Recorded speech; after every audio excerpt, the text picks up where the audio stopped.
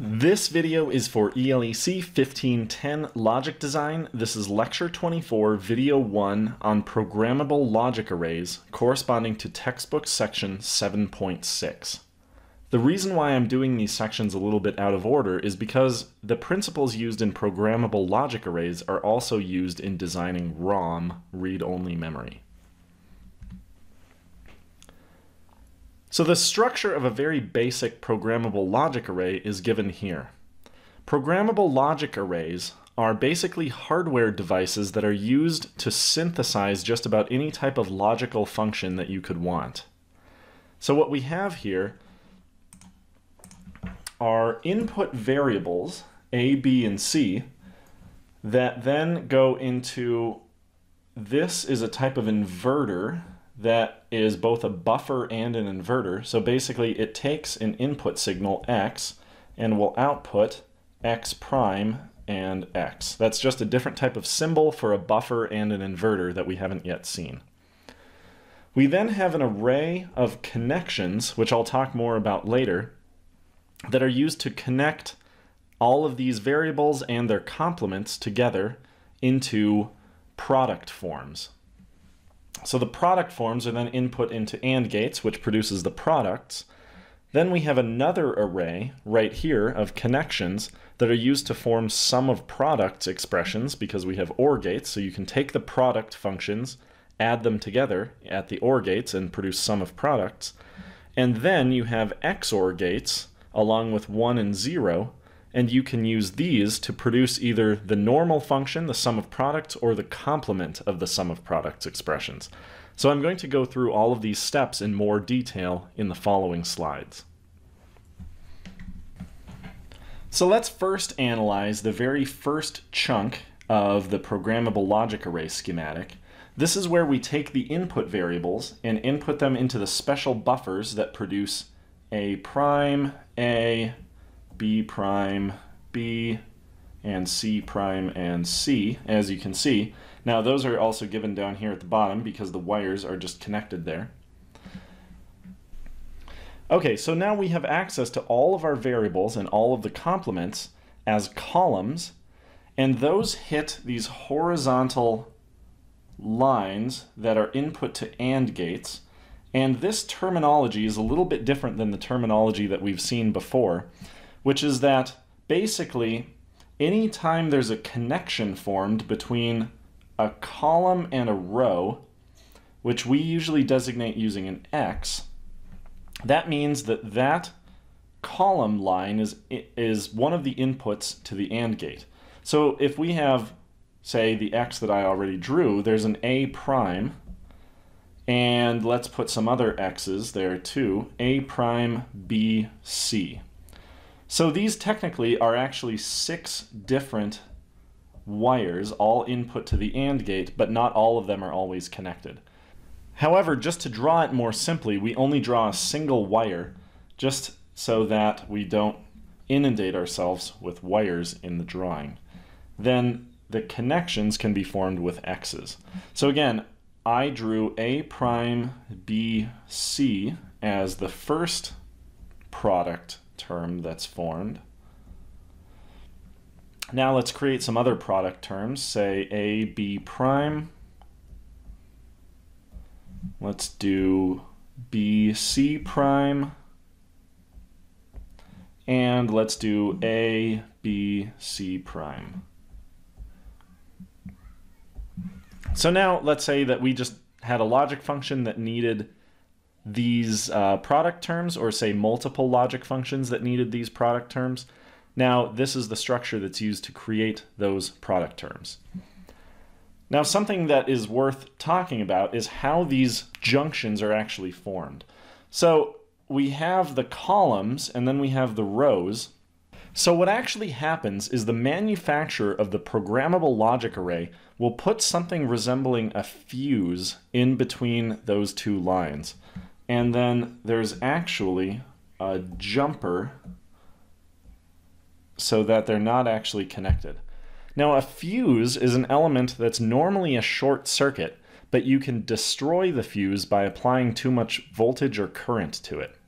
So what you do is every time you don't want a connection, say right here, uh, the second row and uh, variable C, you would put a whole ton of voltage on that connection. So you would apply very high voltage to C, and you would apply ground to the output of this gate, and that would destroy this fuse. It would it would be destroyed, and that would now be an open circuit, and it wouldn't be connected.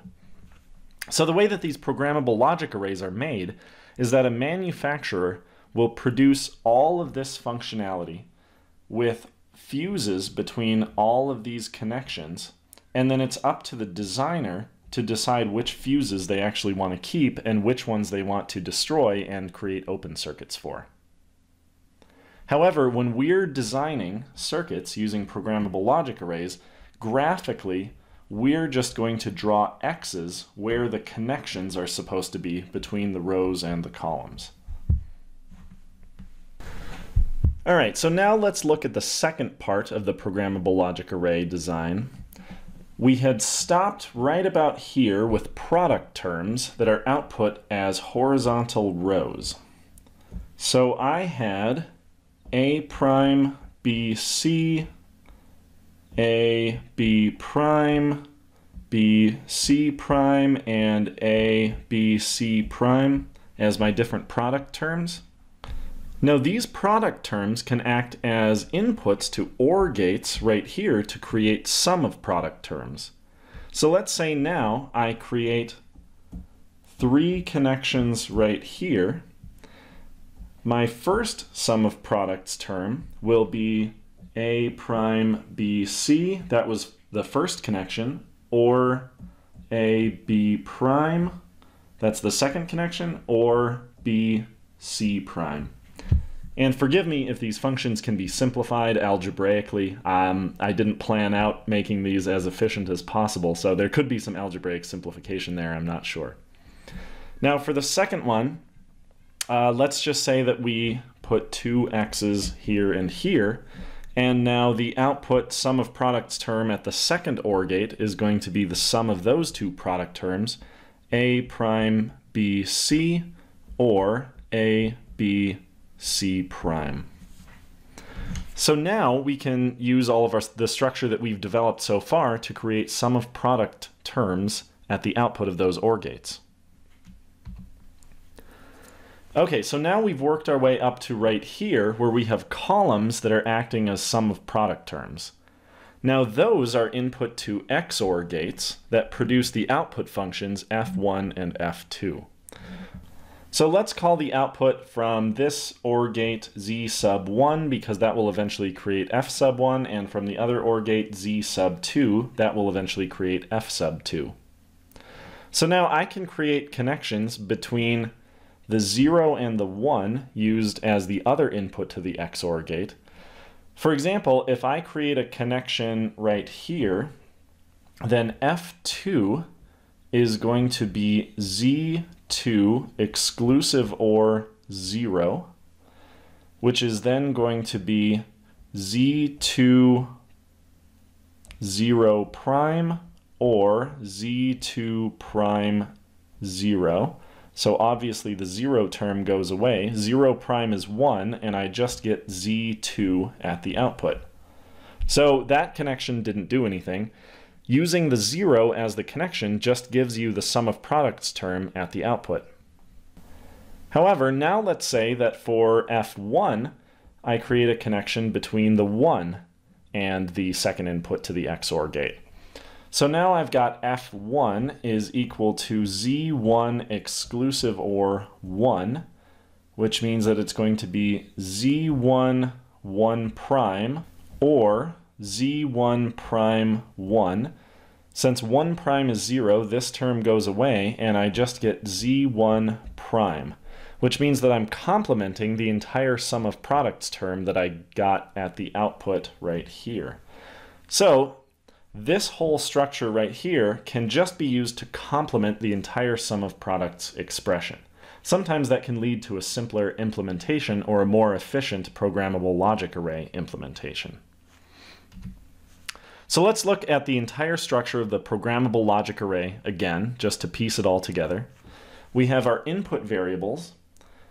We have the buffer inverter structure that creates the buffered versions of the input variables and their complements. We have an array of connections that are used to create product terms along with these AND gates. The output from the AND gates are the product terms that then are input to OR gates used to create sum of product expressions right here. And then the XOR structure at the very end is used to either complement or not complement those sum of products expressions. So programmable logic arrays are big, big generic devices that can be used by destroying fuses um, in order to create basically any logic function that you want. So you wouldn't have to design all of the logic functionality yourself using a programmable logic array. You would just have to go through and destroy all of the fuses for the connections in there that you don't want. So certain manufacturers make programmable logic arrays, and then certain applications companies would actually go through and basically program or destroy the fuses of the connections that they don't want in order to get these to work the way that they do want. This basic structure is going to be used in ROM or read-only memory, so we'll talk about that in the next lecture video.